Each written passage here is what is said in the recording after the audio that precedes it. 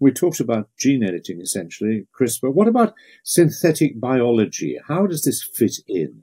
First of all, what is synthetic biology? Thank you. Um, so, I mean, CRISPR, uh, which is clustered regularly interspaced short palindromic repeats, for those of you who, who really want to know. there won't be a test on that, I'm sure, but um, yeah, it's Thank quite you. a mouthful. Um, CRISPR, all, all, gene editing, you know, reading, writing, and editing DNA comes under the the umbrella of synthetic biology. But synthetic biology is basically using the tools of molecular biology to manipulate life in ways like improving health, improving the environment, growing the economy. Um, it's uh, basically manipulating organisms to deliver the outcomes that you desire. And in many ways, it's been going on for for as long as humans have been here. I mean, think about the birth of agriculture. Humans have been, you know, using or manipulating livestock and plants to produce our own desired ends. But um, as Keith has very well addressed, you know, we've we've got tools now that we didn't have before. Um, tools uh, that are so powerful and so effective and so quick and so accurate, um, and can be used by, you know, teenagers in high school labs um, that don't cost very much at all, um, but are so um, prolific in their outcomes that really it's a it's a whole new world. It's a whole new world in which part of the world? Because one of the concerns that obviously will arise here is who has access to this. You've talked about sixth forms, but sixth forms in Ethiopia, uh, sixth forms in areas of the world, you know, where we're desperate uh, for hunger and so on. I mean, are we talking about a um, a development of science which is contained within particular rich countries, or is there genuine, genuinely the possibility of this being utilized for the benefit of everybody? Well, um, there's two parts to that question, really. Um, uh, firstly, uh, yes, I mean, for better or worse, if you've got the money, and we're we're only talking a few dollars here, you can order the genes that you want. You can order the bacteria that you want. You can order CRISPR-Cas9 and have it delivered to your high school lab in Ethiopia if you want. Um, you know, it, it is that easy. I mean, um, we've been talking mostly about big nation states like China, but my concern is more the nerd in his lab, um, who's who's just got a makeshift lab in his garage and orders the components and orders the genes and is playing in their garage. That's more my concern uh, over nations and labs and large institutions that are a lot more regulated and there's a lot more um, pressure and protocol to follow. Keith, is that your is that your concern as well? Do you share that concern? Yes, I do. I, I think we need to separate out between modifying bacteria, which could be very straightforward and could be done uh, in, in any lab, and as Sam has said, is very cheap. Um, if we were to do that to to take it to modifying a, a, higher organism such as a human, that then requires very complex technology and uh, uh, sophisticated machinery. So I, I, nobody's going to be modifying the human genome and making enhanced humans in a garage. But the process of, of, of, modifying bacteria um, is fairly straightforward. Or, or a virus, for that matter. Yes. Um, well, you're, really, you're really cheering me up at this point. when I hear that, I uh, yes, carry on. Having just come through COVID, I start to get a bit bothered by it. Yes, I, I don't want to sort of set anyone off on any conspiracy theory or anything like that. But um, no, I, am an optimist on this front. I, I, we've started kind of quite negatively, but I, I think um, for all people's excitement about artificial intelligence and what it can do, I think synthetic biology offers the most hope and, and the best prospects for um, a, a, huge wealth of positive change that seemingly touches everywhere. Which sort of change? What are your hopes? Specific, could you be specifically about what do you think will be, we will be able to achieve, which will be beneficial? Well, firstly, I think there are genetic diseases that could go the way of the dodo and smallpox. You know, um, diseases like Huntington's disease, sickle cell, um, uh, Tay-Sachs disease, diseases that are a very well-known s- single genetic change um, you could theoretically get rid of them in a generation if um, if you went at it. Then you've got cancer. I mean, that's that's my area of research is is cancer. Uh, cancer is a completely different ball game. I'm very excited about uh, where the world could be in terms of cancer in 10 years' time. For example, um, everything from CAR T cells, um, immunotherapy, um, the, you know, these are the things we've been waiting for forever. Uh, they're the great equalizer. If as long as the costs can come down, um, the promise of cancer therapy is is totally different from what it was uh, a decade ago. Um, then you have um, things like space. That's something I do some research on um, in in terms of uh, people staying long term um, in low Earth orbit, but also on the Moon, and yes, even theoretically on Mars.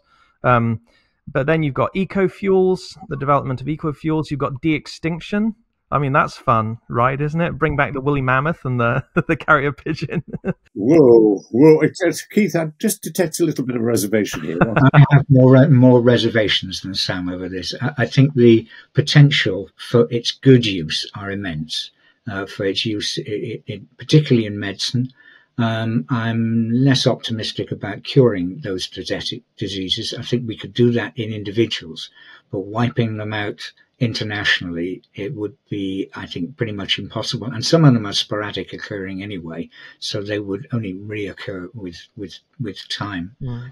Um, some of them, I think, is, is pipe dreaming, but I am actually worried about the misuse of those technologies. Do you mind if we come, Keith, just to those? Uh, I'm trying to be optimistic at this stage of our discussion, if I may. I'm, I'm naturally, I think, half glass empty sort of person, so we've plenty. but I mean, just just to, when we talk about de-extinct, uh, de-extinction. Um, this means, uh, what does this mean? Does this mean that wherever we can find in the hmm. world genes of some extinct animal, we will be able to bring them back to life, and if necessary, we we will see woolly mammoths roaming the earth. Or what are we talking about with de-extinction? No, it, I, I, think at best we could invent a new species that resembled the woolly mammoth rather than actually, because the DNA from those species uh, uh, of ages ago will be, it's, it's degraded. It's not the, the sort of Jurassic Park. Um, so you can, we can now we can sequence the Neanderthal genome. It's been done. You can sequence the woolly mammoth genome, but how are you then going to reconstruct that? And how, what is going to be the mother for this new woolly mammoth? And how is it going to deal with the learned behaviors that elephants and woolly mammoths would have? Um, it's all very well having an African elephant, but that's not the environment in, in, in, which a woolly mammoth ever lived. And how are those offspring going to learn how to behave as a woolly mammoth? So, Sam, when you're talking about de-extinction, what do you mean? Yes, uh, it, it's woolly mammoth with an asterisk. Uh, with with all respects to George Church, who I, I hugely admire. Um, I, I, mean, this this isn't just a, a, George Church is um, George Church is a very, very famous geneticist, uh, prize winner who um, uh, is responsible for the efforts to bring back the woolly mammoth um, right. using gene editing technology and synthetic biology technology. Um, so obviously there are no woolly mammoths left. So you, you basically need to create a woolly mammoth Indian. I think Indian elephant is the closest homologue to it, uh, and it's it's it would be a hybrid. Um, there are problems like a woolly mammoth has 58 chromosomes, um, whereas I think elephants have got 56. So you would need to engineer cells, um, and then you would. Um, uh, this this is theoretical partly because it's not been done yet, and partly because this technology is still very new. So although we've used we've what used would, what would be the point of it, Sam? Why oh, huge environmental um, point to it. We have serious climate issues and woolly mammoths were walking over the Siberian steeps, um, tromping down the, the permafrost. Underneath that permafrost is enough methane to set off an incredible chain reaction of climate catastrophe. Um, so it's hugely beneficial to bring back woolly mammoths um, and have them range over Siberia like they used to, um, because it, it will keep that permafrost down, keep it frozen. So um, it is, um, you know, it, there's there's a rationale to it. It's not just oh, let's bring back a woolly mammoth. Um, I'm not sure. I'm not sure Keith appreciates the rationale there. Keith, you've got. I, I, take the rationale, but I think it's rather a pipe dream because it's not going to. You're not going to need one or two woolly mammoths. You're going to need uh, a whole. I don't know what the right herds of, of yeah. woolly mammoths to do that. And as I say again, I think they um, their learned behaviours. We have no means of uh, of teaching woolly mammoths what to do. The other thing that worries me over the de-extinction uh, it's if we can bring species back, then why should we bother about extinction now? And the whole environmental um, impetus for protecting species. Why should we bother with that if we know that, well, if, if they happen to go extinct, it's not forever anymore, we can bring them back? No, but it's it's not either or. It's it's it's both and. It's it's certainly never going to be a replacement strategy. But I'll give you another example. The um the American um uh gosh uh, American chestnuts. They used to be absolutely prolific all throughout the east coast of the United States, and uh, and they've been driven almost completely away through deforestation, but also through um, through blight by um, fung- fungal blight. Um, now, there's a project to um, reintroduce engineered American chestnuts um, up, up, the east coast, but with a gene that's been modified to help uh, fungal resistance. Now, I, I, think environmentally that's extremely worthwhile.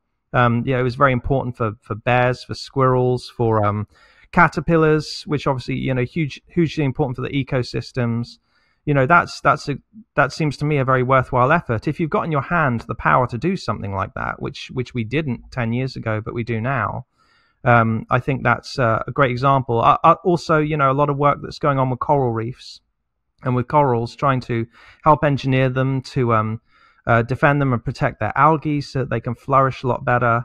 So i mean woolly mammoths are the, the poster child for it but um but there's a lot of other good stuff there